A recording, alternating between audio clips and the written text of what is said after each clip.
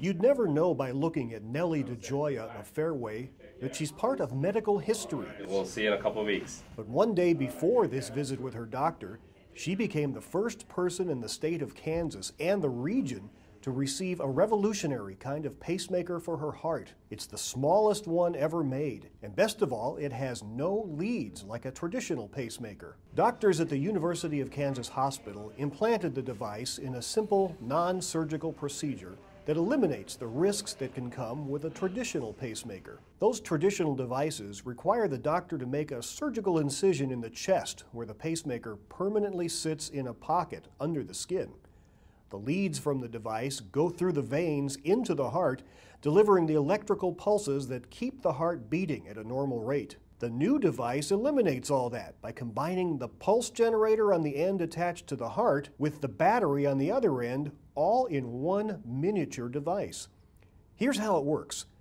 Doctors run the device through an artery in the patient's leg up to the inside of the heart. Once it's in the right position, the doctor, with the help of a special tool, removes the protective cover and actually screws the tiny device right into the inside wall of the heart. Dr. D.J. Lakkireddy is the electrophysiologist who implanted this first device, part of a clinical trial, and he says the advantages for patients are tremendous. This is definitely the way of the future. Patients don't have pain in the chest, risk of infection goes down dramatically, risk of lung puncture, and all those go down significantly.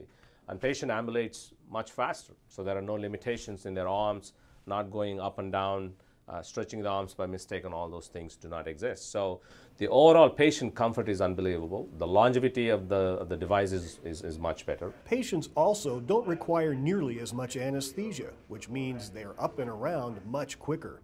Just like Barbara Moore of Leawood, who was the second patient to receive this new pacemaker. Less than 24 hours after her procedure, she was ready to go home, telling her doctors how great she felt and talking about resuming a lifestyle she thought she'd have to give up. I have been a very active person in the past. I like to hike in the mountains. Uh, I exercise a lot, and all that was over. I couldn't do any of that anymore. Even going up a flight of stairs would leave me breathless. So I'm hoping to get my life back. For the University of Kansas Hospital, I'm Bob Hallinan. We can turn that back on. One of these.